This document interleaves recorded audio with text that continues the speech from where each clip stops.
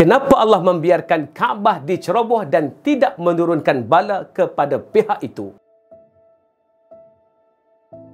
Assalamualaikum. Tanpa sokongan anda, kami tidak dapat meneruskan projek yang lebih besar. Supportlah kami melalui link di bawah demi perubahan. Join saya di Telegram Ustaz Zodo ID. Terima kasih. Ada satu kerajaan yang bernama Qaramitah yang menguasai Bahrain, Oman, Syam, Hajar dan Al-Hasa. Mereka merupakan golongan Syiah yang mempercayai keimaman Ismail bin Ja'far As-Sadiq. Kerajaan ini berkuasa hampir 188 tahun lamanya. Pada tahun 929 Masihi, golongan Qaramitah ini menceroboh Masjidil Haram. Mereka telah menyerang, membunuh dan merompak para jemaah haji. Mereka juga telah menghancurkan pintu Kaabah dan melakukan pelbagai kerosakan di Kaabah. Mereka juga telah mencampakkan mayat-mayat yang dibunuh ke dalam telaga Zamzam. Ini bertujuan untuk mencemarkan sumber air Masjidil Haram. Mayat-mayat yang terkorban korban pula ditanam tanpa dimandikan, dikafankan mahupun disolatkan. Dengan bongkak dan takaburnya, pemimpin mereka yang bernama Abu Tarir berdiri di hadapan Kaabah dan berkata, Mana burung-burung ababil? Mana batu-batu dari neraka sijil? Betapa sombongnya dia. Semasa puak Qaramitah ini sedang mengalihkan Hajarul Aswad, datanglah penguasa Mekah pada masa itu bagi berunding untuk mendapatkan semula Hajarul Aswad. Beliau akhirnya dibunuh. Setelah itu, segala harta jemaah haji Haji dan Hajarul Aswad dibawa pulang ke pusat pemerintahan mereka di Al-Ahsa dan batu itu disimpan di sana selama 22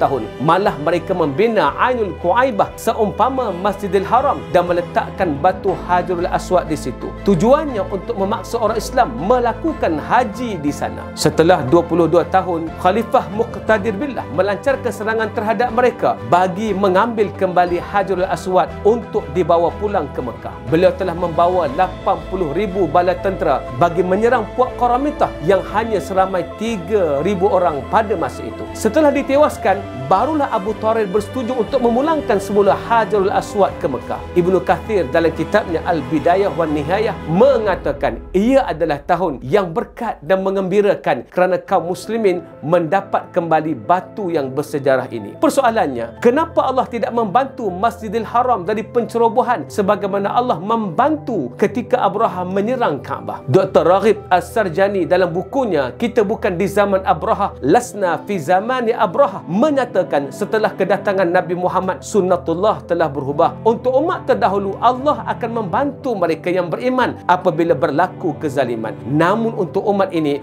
bantuan sebegitu sudah tidak ada. Titik terakhir pertolongan langsung dari Allah adalah ketika Abraha menyerang Mekah. Allah turunkan ababil yang membawa sijil. Namun kata Dr. Raghib setelah kenabian Nabi Muhammad perkara itu sudah tidak berlaku. Allah menyatakan dalam surah Muhammad ayat 7, "In tansurullaha yansurukum wa yuthabbit aqdamakum." Jika kamu membantu agama Allah, barulah Allah akan membantu kamu dan memperkukuhkan kamu. Pertolongan Allah hanya akan datang jika umat Islam bangun untuk bertindak terlebih dahulu. Sudah tidak ada hanya dengan berdoa Allah akan memakbulkan begitu saja. Itu bukan untuk umat Muhammad. Percayalah jika timur kembali kelompok seperti Qaramitah yang menyerang Kaabah jika tiada usaha seperti Khalifah Muqtadir Billah maka Hajarul Aswad akan hilang sekali lagi mungkin melebihi 22 tahun oleh itu kita tidak boleh mengharapkan doa sahaja untuk menentang kezaliman. Gabungkan doa dan perancangan